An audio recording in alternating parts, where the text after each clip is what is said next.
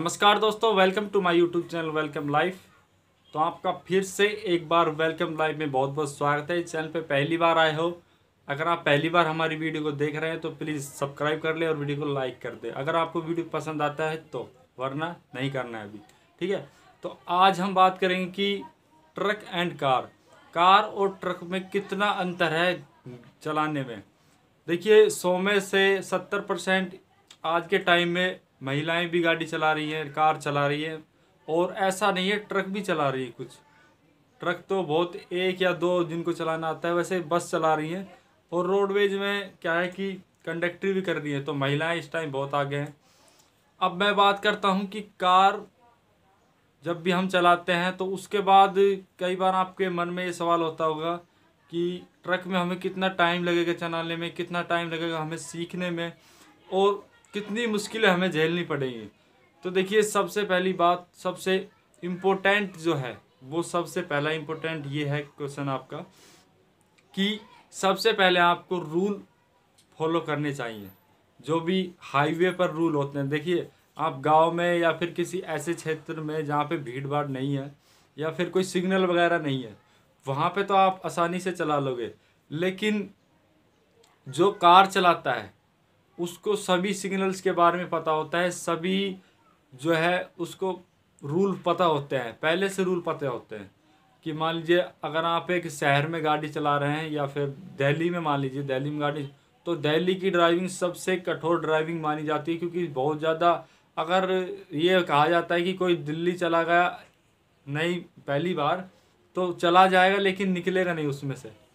तो मैं तो कभी गया नहीं हूँ गाड़ी लेके दिल्ली तो आप गए हो तो मुझे बताना ज़रूर कि ऐसा ही है या नहीं है। वैसे एक दो बार गया हूँ मैं तो भीड़ भाड़ तो ज़्यादा रहती है और पुलिया वगैरह भी ज़्यादा बने होते हैं। देखिए, अगर आपको कार चलाना आता है तो आपके लिए ट्रक चलाना उससे भी अच्छा है। ट्रक बहुत जल्दी सीख जाओगे और बहुत जल्दी सीख जाते हैं, क्योंकि ट्रक की ड्राइविंग बहुत अच्छी ड्राइविंग है। बहुत ही आसानी से चलाते हैं। इसमें देखिए फ़र्क क्या है? चेंजिंग क्या है? ज़्यादा चेंजिंग नहीं है। पाँच ऐसी चीज़ें बताऊँगा जो चेंज है और जो थोड़ी सी थोड़ी सी ज़्यादा नहीं थोड़ी सी डिफ़िकल्ट है। देखिए सबसे पहला सबसे पहला जो लगता है, सबको डर लगता है, वो होता है लंबाई। एक कार की लंबाई होती है छोटी और एक ट्रक की लंबाई बड़ी होती है। सबसे पहला डर लगता है इसमें। तो जब आप बैठोगे वहाँ पे तो आपको पूरा अंदाज़ा आ जाता है दस या पंद्रह दिन में कि छोटी गाड़ी चलाई हुई है तो उसमें इतना डिफ़िकल्ट नहीं होता। ये शुरू से ही कोई बंदा जाता है और वो चलाता है तो उसका थोड़ा कठोर लगता है। पॉइंट नंबर वन कि एक तो लंबाई और पॉइंट नंबर टू गैर्स कि इसमें जो आपका गैर लीवर होता है वो थोड़ा सा हाई मान लीजिए। लेकिन अब क्या हो रहा है कि अब जो गाड़ियाँ हैं, उनमें एक मीडियम जो कार होती है, उसी प्रकार का जो गैर लगाने का सिस्टम है। बहुत ही आराम से गैर लग जाते हैं। जब मैंने गाड़ी सीखी थी तो उस टाइम गैर बहुत हार्ड लगते थे। शुरुआत में लगते भी हैं। एक दो मिनट या एक दो दिन कह लीजिए, उसमें आपको परेशानी आएगी। और थर्ड नंबर थर्ड नंबर जो बहुत ज़्यादा क्वेश्चन होते हैं, बहुत से जो है ड्राइवर जो कम ड्राइवर हैं या फिर जो नए ड्राइवर बनना चाहते हैं, बहुत से ज़्यादा कमेंट आते हैं कि भाई राइट साइड जजमेंट या left side left side judgment का देखिए ऐसा है कि किसी को भी पहले समझ में नहीं आता है जब आप चलाने लग जाते हो। कार कोई मान लीजिए आप चलाओगे तो उसमें अंदाज़ा लगाना आपके एक अंदाजे से ही चलती है, उसमें कुछ भी डिफ़िकल्ट नहीं है। ये तीन पॉइंट सबसे आपको डिफ़िकल्ट लगते हैं। सभी को लगते हैं, आपको नहीं, चाहे वो नया हो या पुराना हो, इनमें सभी को झिझक आती है शुरुआत में। अब फोर नंबर पर बात करते हैं कि हम गाड़ी को बैक कैसे करेंगे इतनी बड़ी गाड़ी को? देखिए बैक में अगर आपके पास ट्रक है तो उसमें दो आदमी आपको हमेशा ही रखने चाहिए।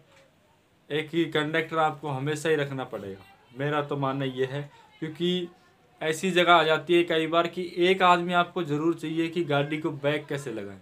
क्योंकि गाड़ी सीधी सीधी नहीं बैक भी लगानी पड़ती है और बैक भी चलानी हमें पड़ती है। तो फोर पॉइंट तो ये है। और अब बात कर लेते हैं कि गाड़ी का ये पॉइंट आपको सबसे ज़्यादा आना चाहिए और इससे आपको जो है बहुत कुछ नॉलेज मिलती है।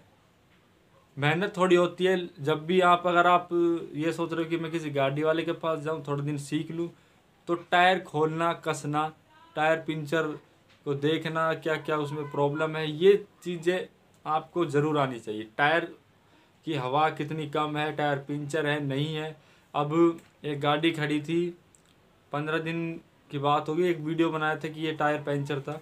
तो उसका टायर वाकई में पिंचर था और उसको पता नहीं था, ड्राइवर को, नया ड्राइवर था। तो देखिए, ये मिस्टेक आपके टायर का नुकसान कर देगी फाट भी देगी। तो उससे आपको नुकसान होगा, अगर मालिक है तो आप, आपको भी नुकसान है। परेशान हो जाएँगे अगर कहीं रात में आपकी गाड़ी ख़राब हो जाती है तो वहाँ पे आप जाते हो। गाड़ी का टायर फट गया, स्टेपनी आपके पास है नहीं तो बहुत बड़ी प्रॉब्लम है।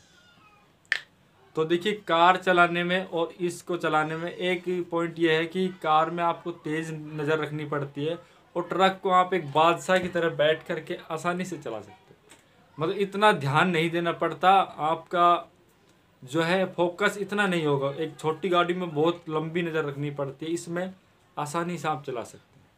तो ये कुछ मेरा सजेशन था इस वीडियो के माध्यम से कार और ट्रक के बारे में, कि कार से ट्रक कैसे सीखें। तो वीडियो पसंद आए तो प्लीज़ एक लाइक कर देना। चैनल पे पहली बार आए हो तो सब्सक्राइब कर लेना। इसी तरह के वीडियो आपको मिलते रहेंगे।